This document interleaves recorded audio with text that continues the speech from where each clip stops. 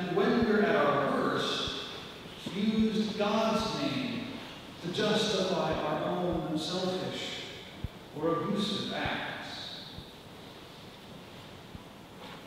Today's gospel is a clear example of humans, here James and John, trying their best, but missing the point.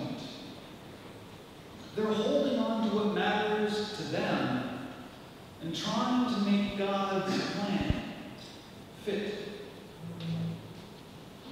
And though these very human figures get it wrong, through them, Jesus teaches us exactly the depths that our humility should reach. A humility that he himself took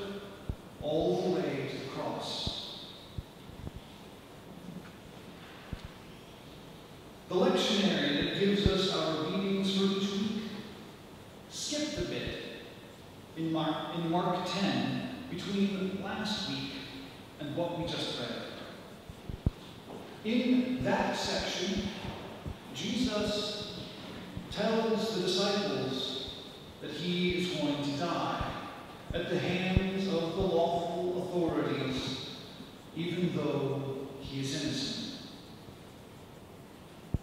So it's in response to Jesus' declaration that he will suffer that the sons of Zebedee step forward and offer to take some of this burden off of Jesus' shoulders.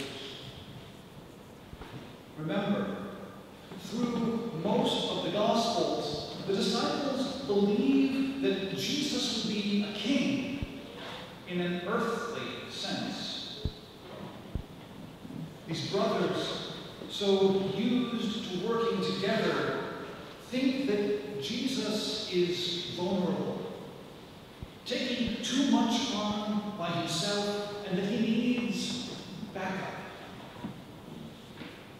For some context, to stand at the right or the left of someone in their story is to take on the roles of those who share the burdens of leadership in an earthly king's court.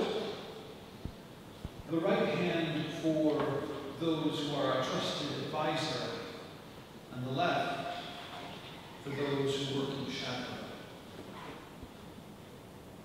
Interestingly enough, this story shares some threads with the one from Matthew 16, where Peter tries to stop Jesus from going to Jerusalem, tries to prevent his friend from being killed, and is met with that jarring but memorable rebuke Get behind me, Satan. But Jesus has no such harshness for James and John. They aren't trying to stop him, for one, or to tell him that this is all wrong. And Jesus deals plainly with them, telling them about the responsibility and the price of trying to share this burden. He says, it's becoming a slave.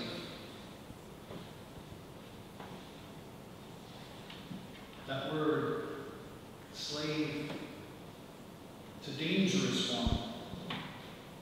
Our society is stained by it. Our history as a nation irrevocably altered because of what some did to others, dehumanizing them, denying them as bearers of God's image in order to treat them like property. A horror. So, even so, we can't shy away from this teaching of our Lord's. And in this gospel, Jesus is making that those whose faith is deepest and whose love of neighbor resembles God's love, those people will use the freedom that God has given them to aspire towards serving all people. Some clarity on what I just said. Jesus is not supporting slavery in any form. This teaching assumes that the captive has already been set free, that the blind see, that the poor are filled with good things. It's out of and in and through that gift of freedom that Jesus is calling his disciples to choose serve in love.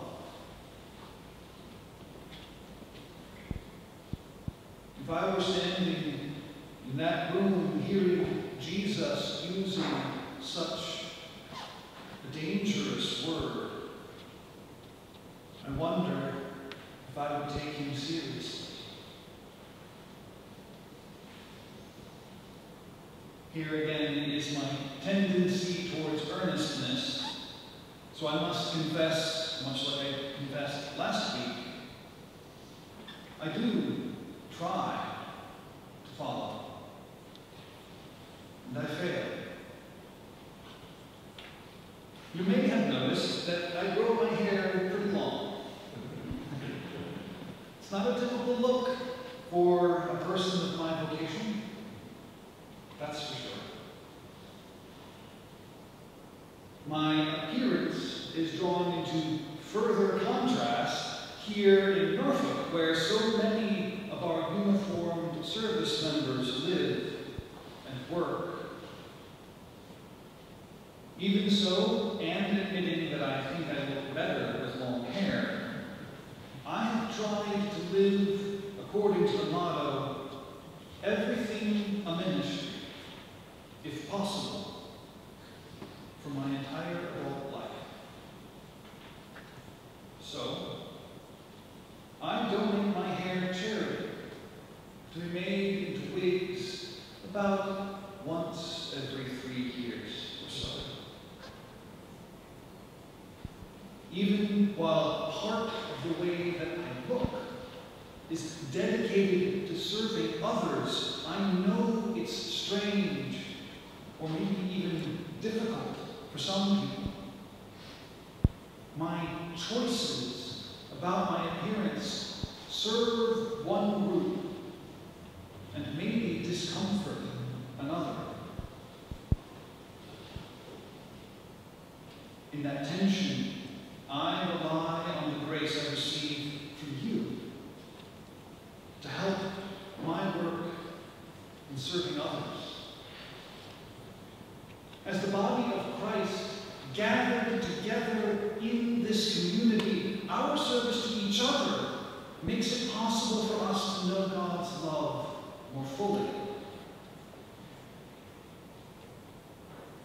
It's something like what James and John tried to be in that moment, supporting Jesus, even though they couldn't comprehend what they were saying, signing up for.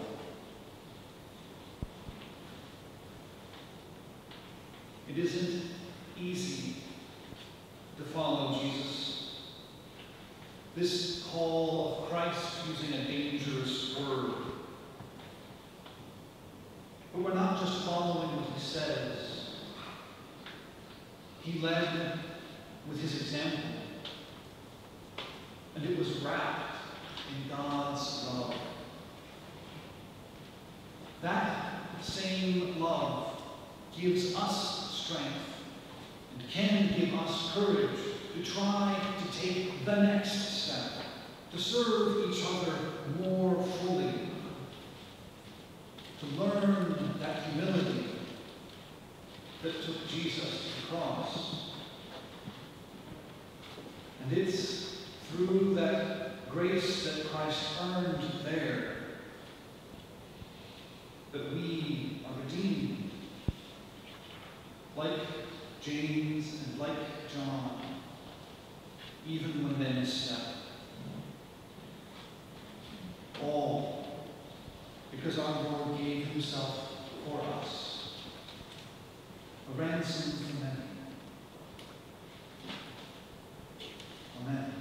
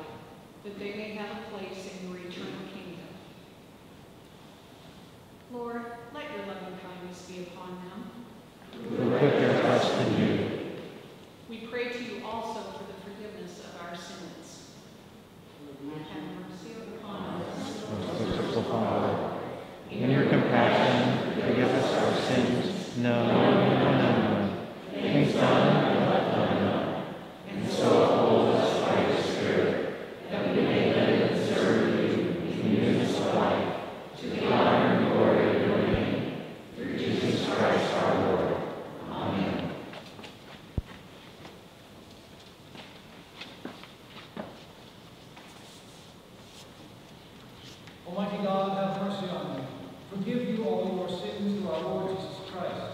Strengthen you in all goodness, and by the power of the Holy Spirit, keep you in eternal life.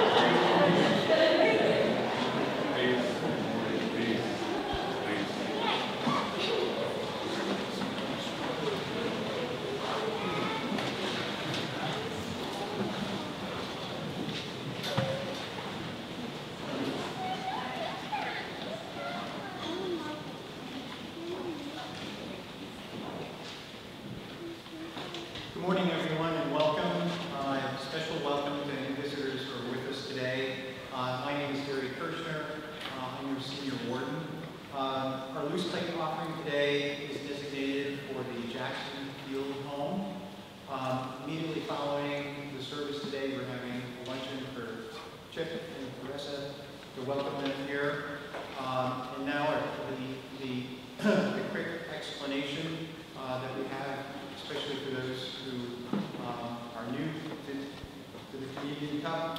Um, when we get the invitation to communion, simply peel back the bread side, um, and then after Chip says the body of Christ, the bread of heaven, take the host, and then flip it over, peel back the wine side, and drink the wine after you say the word of Christ, the cup of salvation at the end of the service, please dispose of the cups as you, as you walk out. Thank you. Look forward to talking to you all after the service.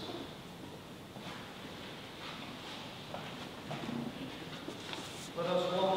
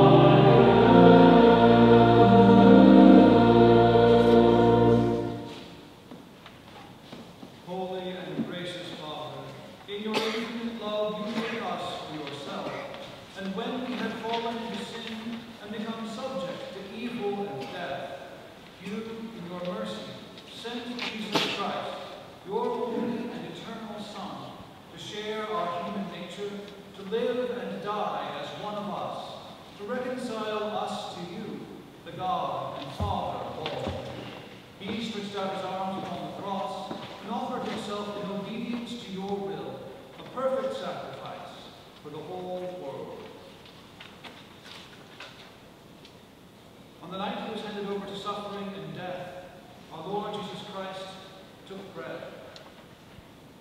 And when he had given thanks to you, he broke it and gave it to his disciples and said, Take, eat.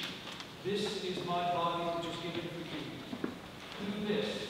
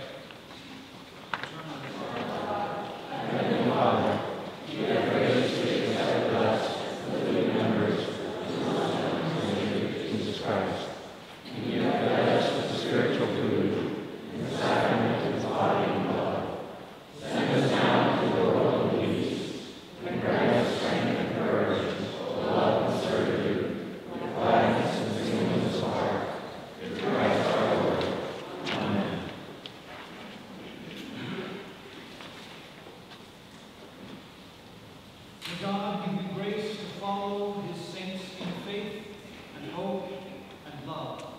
And the blessing of God Almighty, the Father, the Son, and the Holy Spirit be among you and remain with you always.